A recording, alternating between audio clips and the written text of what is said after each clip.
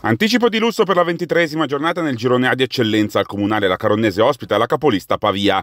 Pronti via, la Caronnese trova subito il gol, bellissima triangolazione tra Corno e Brignoli, palla di ritorno per il capitano che davanti a Cincilla non sbaglia. Settima rete in campionato per l'uomo simbolo dei rossoblù e Caronnese avanti dopo soli 6 minuti di gioco indirizzando subito il match.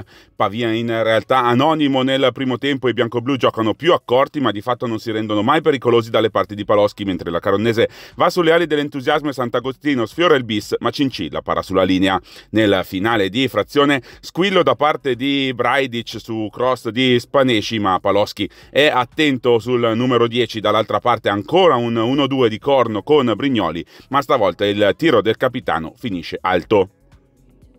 L'occasionissima per il raddoppio capita ancora a Corno in avvio di ripresa, lancia ispirare la corsa del numero 10 che però non riesce a concludere permettendo il ritorno di Diraco che salva il Pavia. Civeriati lancia nella mischia Panigada prima, poi Vassallo e Agello, i nuovi entrati cambiano il volto degli ospiti, piattone di Spanesci debole per Paloschi, poi altro brivido però per gli ospiti, errore di Alletto, Morlandi recupera il pallone e si invola verso la porta ma il tiro del centrocampista trova l'opposizione coi piedi di Cincilla. Gol sbagliato, gol subito. Da una punizione di Spanesci arriva il gol gol sporco di Antenucci è il numero 9 a toccare per ultimo il pallone segnando così la rete numero 13 in campionato. Esulta giustamente il numero 9 e la Caronnese reagisce ma sulla sponda di Puca nessuno riesce a girare il pallone verso la porta avversaria. L'occasionissima da gol ce l'ha il Pavia, Antenucci solo davanti al portiere però non trova il piattone vincente mandando clamorosamente a lato. La Caronnese tira un sospiro di sollievo ma il Pavia resta in attacco anche se la partita è bellissima e piena di colpi di scena da una parte e dall'altra. La Caronnese troverebbe sarebbe il gol con Migliavacca, ma il numero 9 in offside sul cross di Morlandi e la gioia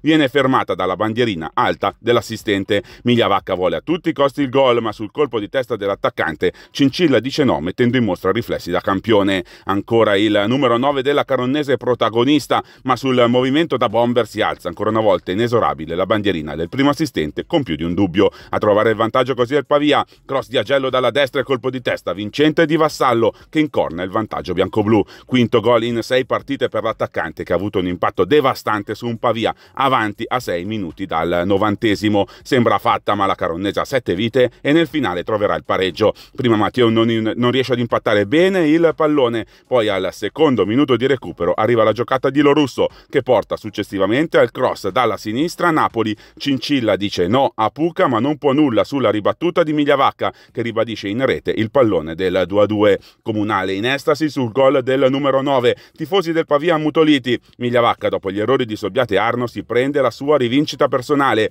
Al comunale finisce 2-2 per quanto visto in campo, un pareggio tutto sommato giusto.